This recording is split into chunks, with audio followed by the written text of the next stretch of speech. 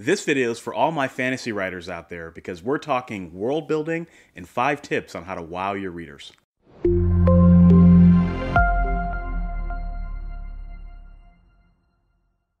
What's up, guys? Michael La Ronn here with Author Level Up, helping you write world class stories better and faster. And I make these videos because I believe that each of you has an inner J.K. Rowling inside, and you just need help unlocking it. So if you're new here, consider subscribing and click that little bell, ding, ding, ding, to get notifications every time I have a new video. And you know, guys, this is going to be a special video because this is a first on Author Level Up. I have a guest. so, the author Jason Link reached out to me, and Jason is an author, he is a public speaker, and he's got a best selling course on Udemy on world building. And he asked, Hey, Michael, I would love to get in front of your audience and talk about world building because I know this stuff really well. And I said, Yeah, that's great because I actually don't have very many world building videos on this channel. In fact, this is probably the first one. So, um, Jason is going to be talking about five tips on how to wow your characters and create better worlds. So, without further ado, take it away, Jason. Think about your favorite fantasy story.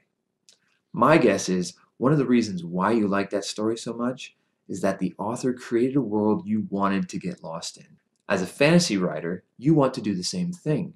You want to create a world that enchants your readers. You want to create a world that they want to get lost in. So there is no formula for conjuring up wonder. But there are a few guidelines you can follow to help create a world that will enchant your readers, a world your readers will want to get lost in. Guideline number one put yourself into your world. When it comes to writing, the truth is you won't be able to please everyone. And that's great news. You are free to be yourself. In world building and fantasy writing, you might feel tempted to go with what is popular, to try and meet everybody else's expectations, to try and be good enough for others. But don't fall into that temptation. One, you're taking yourself out of the equation. And two, you're trading your creativity for a mold. You can't please everyone, and that's great news. You are free to be yourself. So when building a world, put yourself into it. Guideline number two use what you find compelling. This kind of feeds off the first point, but I believe it needs to be emphasized.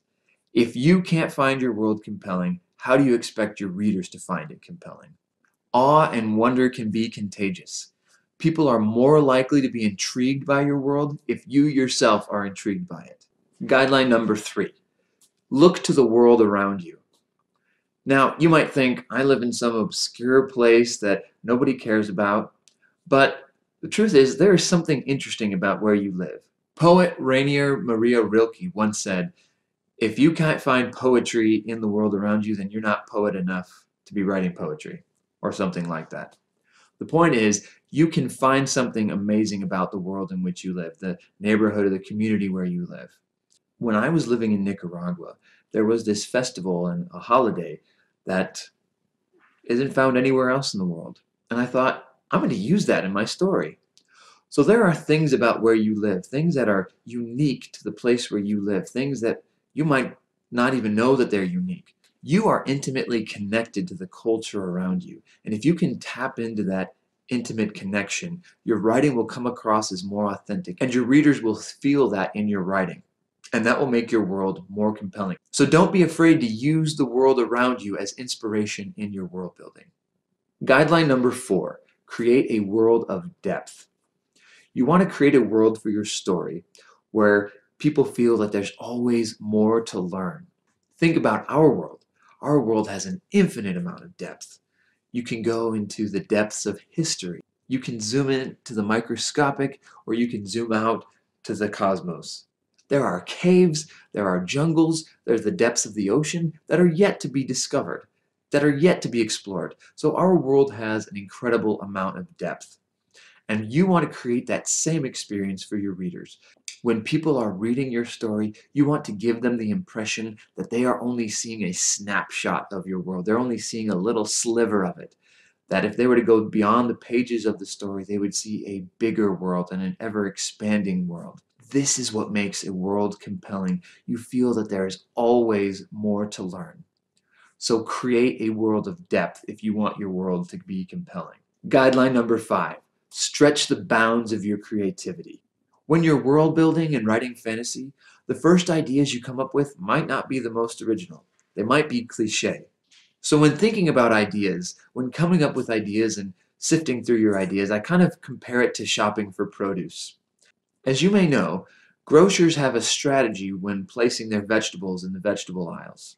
If they kept on putting their fresh vegetables on top of the old vegetables, then those old vegetables would get moldy and bad and just gross. So what they do instead is that they take the old vegetables on and put them on top and put the fresh vegetables on the bottom.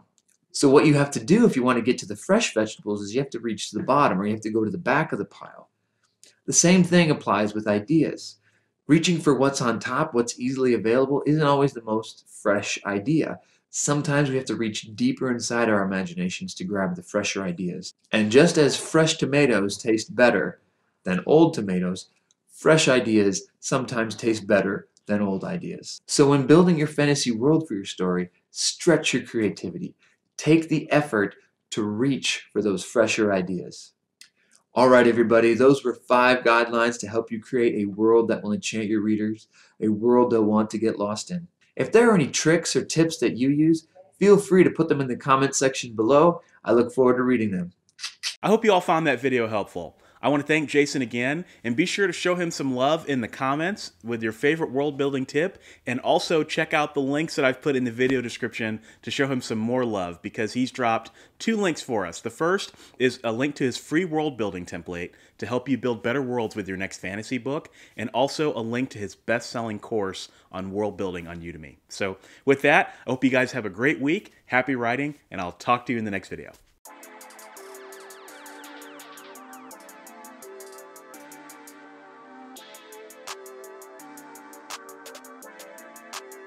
Perfect.